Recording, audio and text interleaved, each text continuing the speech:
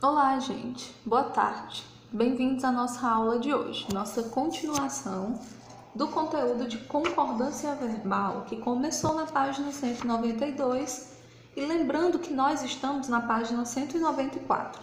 Nós paramos no tópico casos especiais de concordância verbal, no terceiro caso, certo? Nós iremos ver a partir do terceiro caso hoje. Preciso só relembrar para vocês porque são muitas regras, então muita atenção. É, na aula anterior, nós vimos que o sujeito vai ser o termo da oração que vai determinar a flexão verbal. Então, nós temos flexões de número divididas em singular e plural. Então, se o sujeito da oração estiver no singular, o verbo daquela oração também deve estar no singular. Se o sujeito estiver no plural, o verbo daquela oração também deve estar no plural. Nós vimos também três grandes regras que seguem os pronomes pessoais do caso reto. Relembrando, pronomes pessoais do caso reto: eu, tu, ele ou ela para o singular, nós, vós, eles ou elas para o plural. Então, nós vimos o seguinte: o verbo pode se flexionar na primeira pessoa se ele puder ser trocado, substituído pelo pronome eu, que é a primeira pessoa do singular, ou pelo pronome nós, que é a segunda pessoa, primeira pessoa, perdão, do plural. Ele pode ser flexionado na segunda pessoa se ele puder ser trocado, substituído ou for equivalente aos pronomes pessoais do caso reto na segunda pessoa, que são os pronomes tu e o pronome vós. E ele também pode ser flexionado na terceira pessoa se puder ser substituído, trocado ou for equivalente aos pronomes pessoais do caso reto na terceira pessoa. Quais são eles? Ele ou ela no singular, eles ou elas no plural, e nós ainda temos a variação do você, que é muito utilizado para a terceira pessoa, tanto você singular como vocês no plural. Certinho? Então, relembrando o que a gente viu, nós vamos para os casos especiais de concordância verbal. Nós vemos o primeiro caso, que era um momento onde o sujeito composto ou núcleo do sujeito iria se conjugar. Nós vimos o segundo caso, que é o sujeito ligado pelo nem, e agora nós veremos o terceiro caso. No terceiro caso, o sujeito é constituído pela expressão nenhum e nem outro. Nesse caso, o verbo vai ficar no singular, certo? Vamos para o exemplo que está na página 195. Então, os exemplos: nenhum nem outro quis falar, nenhum nem outro soube a resposta. Quais são os verbos, gente? Quis e soube. E esses dois verbos estão no singular. Por quê? Porque a regra nos diz que quando o sujeito estiver com essa expressão, nenhum e nem outro, o verbo vai ficar no singular. É somente isso. Esses pontos que nós estamos estudando a partir de agora, nós já estamos no terceiro ponto, eles vão trazer regras específicas que vão fugir daquela regra geral que nós aprendemos antes, tá? Que o sujeito vai concordar com o verbo em número e em pessoa. Aqui são regras específicas, tá? Do trato de gramática e são exceções, tá? A regra geral. Então, quarto ponto: o sujeito ligado por ou. O verbo concorda com o sujeito mais próximo se a conjunção indicar uma exclusão ou uma equivalência. Aí a gente tem o exemplo: ou João ou José comprará aquela casa. Então eu tenho a expressão ou e eu estou aqui no sentido de equivalência, não é isso? Ou um ou o outro. Então, o verbo vai concordar com o sujeito mais próximo, que é o José. No exemplo de baixo, o pai ou a mãe deve ser sempre respeitado. Aí aqui eu vou ter uma situação de exclusão, né? O pai ou a mãe, né? Um ou outro. E aí nesse caso, o verbo novamente vai concordar com o sujeito que estiver mais próximo, que no caso é a mãe certo? Por isso que os dois verbos ficaram no singular. Quinta, é, no caso, quinto tópico. O sujeito é composto pela expressão a maioria de, a maior parte de, grande parte de, seguidas de um nome no plural. Então, nesse caso, o verbo fica no singular ou no plural. Caso essas expressões sejam seguidas de um nome no singular, o verbo fica no singular. Aí nós temos dois exemplos. O primeiro diz assim: a maioria dos alunos está presente. Então vamos ver a regra. Primeiro tem a expressão a maioria de, correto.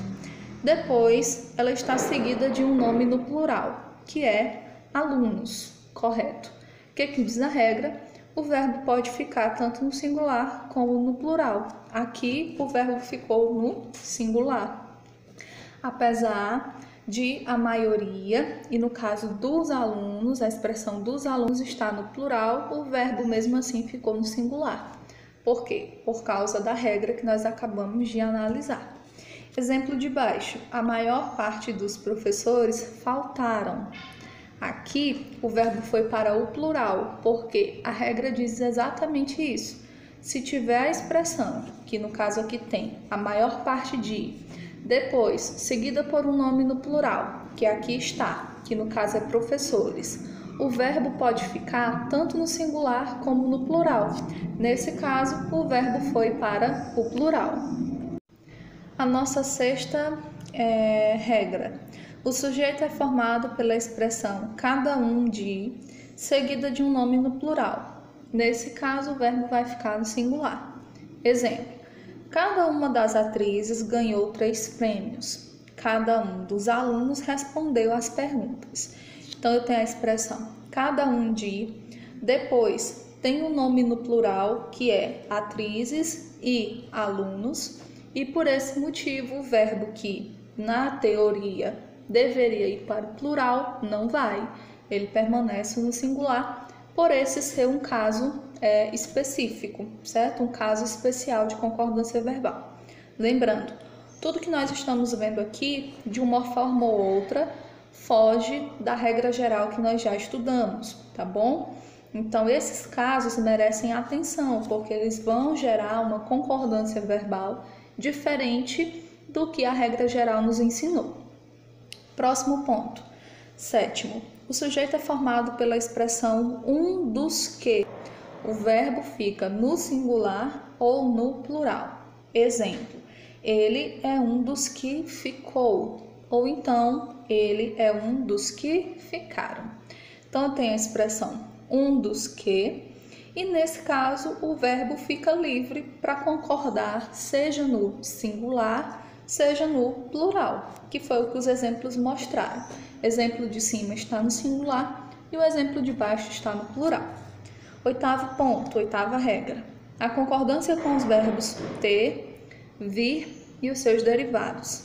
Esses verbos apresentam uma particularidade quando conjugados na terceira pessoa, seja ela singular e plural, no presente do indicativo.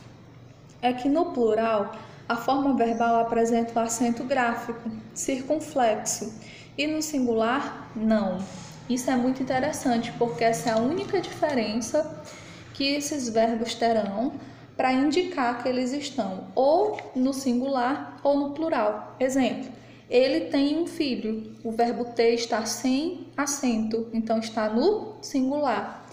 O exemplo de baixo: eles têm um filho. Olha aí, para o plural, o verbo ter recebe o acento gráfico, o acento circunflexo. É a única diferença o verbo vir, ele vem sempre às sete. Singular, então não tem acento.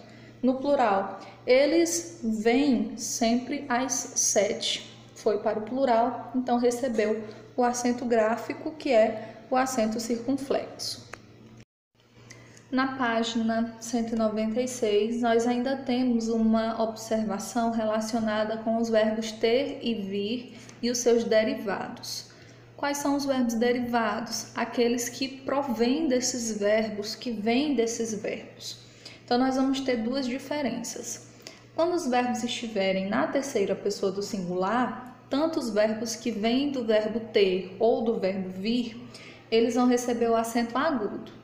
Mas se estiverem na terceira pessoa do plural, eles vão receber o acento circunflexo. Exemplo: o diretor sempre mantém suas decisões. O verbo mantém está vindo do verbo ter, tá? É um verbo derivado do verbo ter e está no número do singular, não é isso? Então, nesse caso, ele está com o acento agudo. No exemplo de baixo, os diretores sempre mantêm suas decisões. Então, aqui o verbo já está no plural. Então, o acento passa de agudo para circunflexo. O exemplo com o verbo provém. Ele provém de São Paulo e eles provêm de São Paulo. A diferença é porque ele provém está no singular, então o acento é agudo, e eles provêm está no plural, então o acento é circunflexo. E esse verbo aqui, o provém, está relacionado ao verbo vir, é o verbo derivado do verbo vir. E aí nós temos o último tópico para encerrar, que é a concordância verbal na língua falada. Na língua portuguesa não existe uma gramática, mas várias. Uma dessas gramáticas é a normativa, que determina em termos de certo e errado o modo como as pessoas devem falar e escrever, em situações formais, como entrevistas, reuniões de trabalho, palestras. Assim, essas determinações não são necessariamente seguidas por nós, é aí que entra a gramática de usos. Diferente da gramática normativa, a gramática de usos não determina o que é certo ou errado. Ela busca apenas registrar as regras gramaticais que as pessoas seguem, sobretudo quando falam em situações informais, descontraídas. Não há aqui critérios como feio ou bonito, certo ou errado. Então, nós temos dois tipos de gramática, basicamente. Nós temos a gramática normativa, que foi essa que nós acabamos de estudar, né? Exemplos, situações, é, exceções à regra. E nós temos a gramática de usos, que é aquela que nós falamos no nosso dia a dia, que não segue necessariamente uma regra, porque costumamos falar da forma que nos convém. Essa é a verdade. Dessa forma, todos seguimos regras gramaticais quando falamos ou escrevemos, mas podemos usar gramáticas diferentes de acordo com a situação. Por exemplo, quem diz os meninos saiu segue uma regra de concordância diferente de os meninos saíram. Para que fique mais claro, vamos detalhar um pouco.